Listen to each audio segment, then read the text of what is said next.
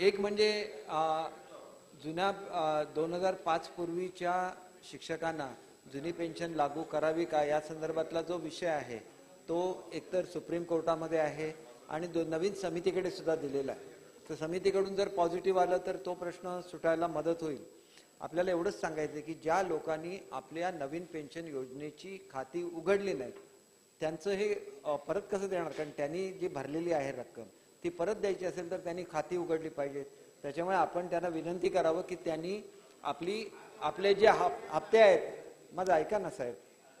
आपले जे हप्ते आहेत ते त्यांनी सुद्धा भरले पाहिजे अख्ख्या संपूर्ण कर्मचाऱ्यांनी भरले शासनाच्या.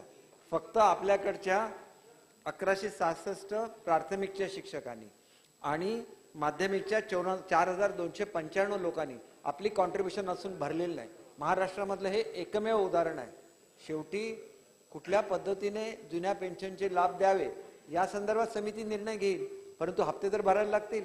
माझी आपल्या मार्फत सभापती महोदया आमदार महोदयांना विनंती आहे की त्यांनी या लोकांना हप्ते भरायला सांगावे. नाहीतर काय होतं की आयत्यावेळेला एवढे हप्ते कापून घेतले तर पगाराच्या संदर्भात अडचण निर्माण होते. मी ज्याला आर डी डी खात्याचा मंत्री होतो त्याला शेवटी आम्ही चार हप्ते करून ते जमा करून घेतले आणि हा प्रश्न सोडवला.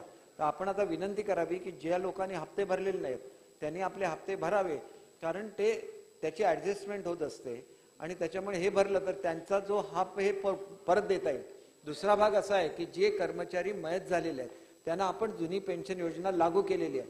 परंतु ही पेन्शन योजना लागू करण्यापूर्वी वन टाइम सेटलमेंट खाली आम्ही त्यांना दहा दहा लाख रुपये दिलेले आहेत. त्याच्यामुळे हे पैसे ज्याला ऍडजस्ट होईल त्याला पुढचं त्यांचं पेन्शन सुरू होईल. आज पेन्शनमध्ये हे हे पैसे ऍडजस्ट करायला लागतील कारण आपण त्यांना ऑलरेडी ते पेड केले. आणि नंतर हा निर्णय घेतला की जुनी पेन्शन योजना त्यांना लागू होईल. त्याच्यामुळे हा ॲडजस्टमेंटचा प्रश्न आहे. याच्या संदर्भात सरकारकडून कुठलीही दिरंगाई होणार नाही.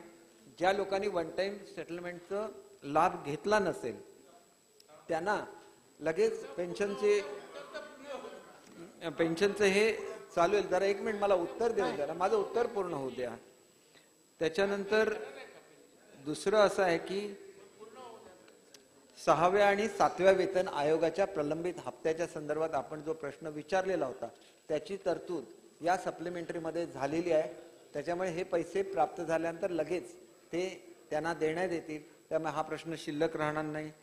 आणि त्याच्याचप्रमाणे ज्या कर्मचाऱ्यांना एन पी एस योजना अनुज्ञेय आहे या सर्व लोकांना आपण त्या ह्याचे हप्ते भरण्यासाठी म्हणजे त्याला जॉईन करण्याबद्दल सांगावं अशी आपल्याला नम्र विनंती आहे. मंत्री महोदय याच्यातला जो मुख्य प्रश्न आहे काय काय म्हणणं काय? की एक नोव्हेंबर पाच नंतर जे सेवेत तुम्ही- आले त्या सगळ्यांना? नवीनच पेन्शन योजना चालू आहे. डीसीपीएस होती. आता त्याचं कन्व्हर्जन एनपीएसमध्ये झालं. पण असं असताना सुद्धा काही शिक्षक आणि कर्मचाऱ्यांचे खाते अजूनही उघडलेले नाही. ही उघडणं ही सुद्धा आपल्या डिस्बर्समेंट अधिकाऱ्याची जबाबदारी आहे. वित्त विभागानं सुद्धा शासन निर्णय निर्गमित केला. आपल्या विभागाने निर्मित केला तरी सुद्धा त्यांची खाती अजून उघडलेली नाही नाहीत. ते म्हणतायत की वाट पाहतायत जुनी मिळेल. ती होईल तेव्हा होईल निर्णय.